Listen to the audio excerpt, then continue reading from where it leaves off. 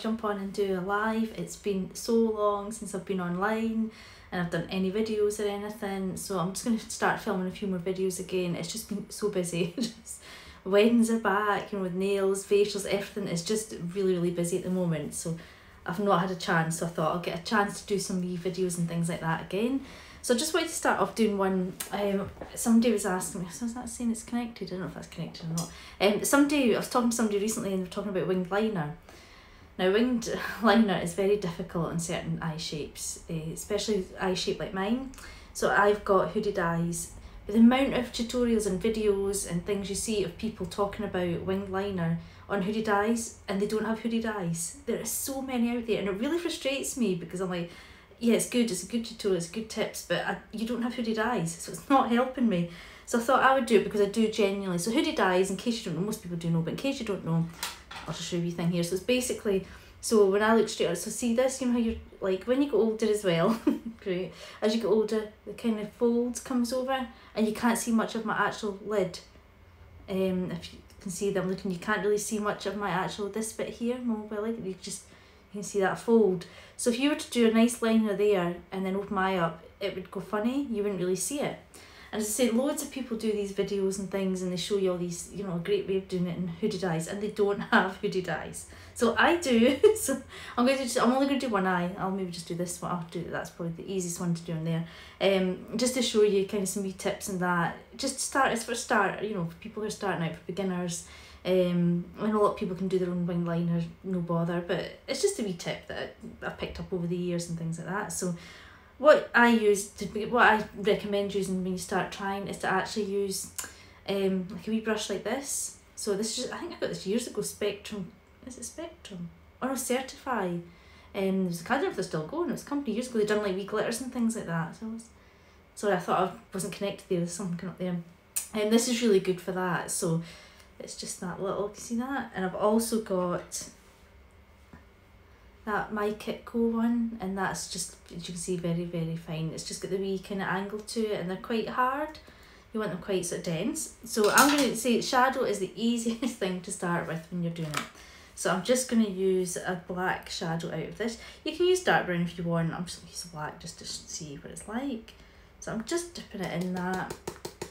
So what you want to do is obviously with um so I'll, try and do it and show you here. I don't know how I'm going to do this but I'll see how this goes. So you just want to look straight ahead. So I'm looking straight in there and I'm going to start on the sort of middle of my eye. So I'm just going to go in with the I've got shadow on that and I'm just going to gently put that you don't want the line too thick. So I've done that. It's probably a wee bit thicker but it's actually okay. You don't want to go any thicker than that. So you want to keep it like that and then get thinner as you go in the inner corner this will depend on the shape of eye as well. So um, if you get like really, really more like, hooded eyes in mine, you wouldn't want to go too far in. You just want to keep it in the outer edge, but I'm just going to show you for the sake of this. So same brush, a bit of black shadow on it, and I'm just getting as close to my lash line as possible. So I'm just doing it like that. Keep it thinner there in the inner corner, and then I'm going to start doing the wings. So I'll put some more shadow on. So just black shadow, that's the easiest thing I think to start with rather than line, you know, like liquids and gels and things. If you're a beginner, start with shadow. And these little things are great. These are so handy. These little uh, really tiny sort of cotton bud things. cotton buds. They're really good as well. So what you can do is if you do, you know, smudge it out as well. But if you go too, too far in or smudge it out, just go over like that. It really is such a good wee thing. So I went in, I'm just going to smudge it out with this. Wee smudge. And that's it. So I've just taken it to the end there, I've not went right all the way. So now I'm going to do, this is where it gets fun. this is where we're going to add up. So get your, your powder on. So what I'm going to do here is you want to follow your lower lash line. So you just want to follow that up. So as you can see, I really you'd want to lift that. And that's kind of eye shape you're going to want. is that, I don't have that. You'd want to lift that eye just to get it more sort of more open.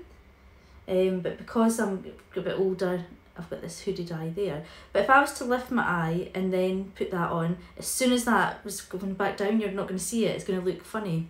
So you follow at the bottom, so and I'm looking straight ahead into your mirror. I'm following that up and I'm just keeping my eyes open and just doing a line like that. Just like that. So then what people tend to do is when you bring it back, so you close your eye and you try and do it like that, but that won't work with the hooded eyes. So you want to keep your eye open and do it. So I'm keeping my eye open, and I'm just see out. I'm just joining that up, and I'm bringing it in like that. Sorry, screens went off there. So I'm just doing that, and I'm just joining it up, just like that. So that's what I've got at the moment. But obviously you can see when I look down, it's kind of funny shape, but to be honest with my eye shape, that's what I, have to have it. I just have to have that. I couldn't, fast I started to fill that in now and do all that, I would lose it. So you want to keep that shape. Sorry, it's going on. So you want to keep that shape there. So even, I know it looks a bit odd when your eyes are, when you're looking down, but you're not looking down. so, so you've got that shape. So a bit big, but that's how you do it. And you join it up and then you just tidy it up with these. So it's a wee bit thick there, so you just get, there's nothing on this uh, cotton bud and I'm just pulling that up and I'm just sharpening that up there just like that. And then I'm just going to go at the top and sharpen it a little bit there just to get the point and just like that. And that's it.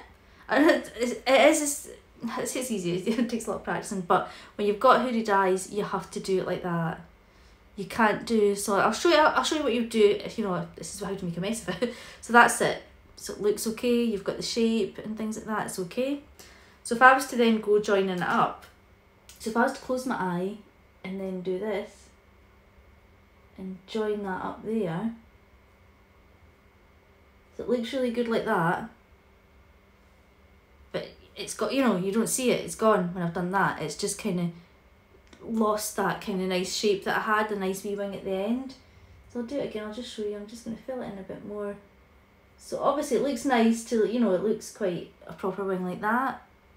You tidy it up a bit, but when I open my eyes it's got thicker there and it's all like that and you just lose it.